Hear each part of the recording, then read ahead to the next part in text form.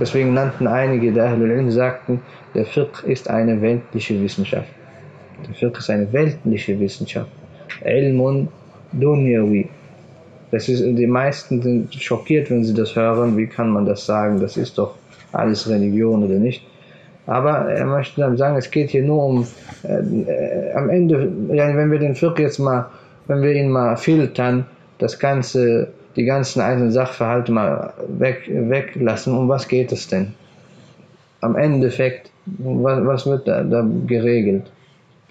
Es geht darum, weltlich betrachtet, rechtlich betrachtet, hat dieser Mann seine Pflicht erfüllt oder nicht? Kann er belangt werden dafür oder nicht? Kann er richterlich verurteilt werden oder nicht?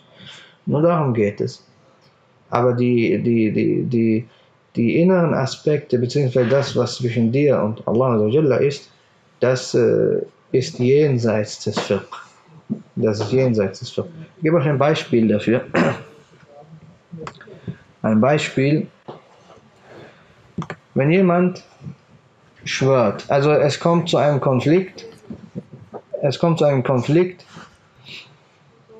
und äh, richterlich, also es, es, es, es wird ein Konflikt ins Gericht geführt und äh, am Endeffekt hängt die Sache jetzt von einem Eid ab.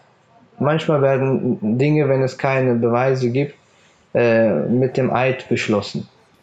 Nehmen wir es mal an, eine Person erhebt Ansprüche auf das Hab und Gut eines anderen, seines Kontrahenten. Und durch, äh, durch ein Eid beschließen wir, dass das tatsächlich ihm gehört. Der, der Person, die diese Ansprüche macht. Jetzt mal rein richterlich betrachtet oder rechtlich betrachtet, gehört es ihm dann, oder nicht? Es gehört ihm. Der andere hat dann sozusagen Pech gehabt.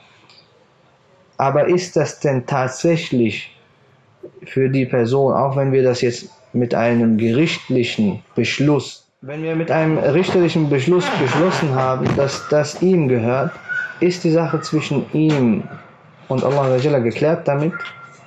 Ist es jetzt für ihn legitim geworden dadurch, durch dieses richterliche Urteil?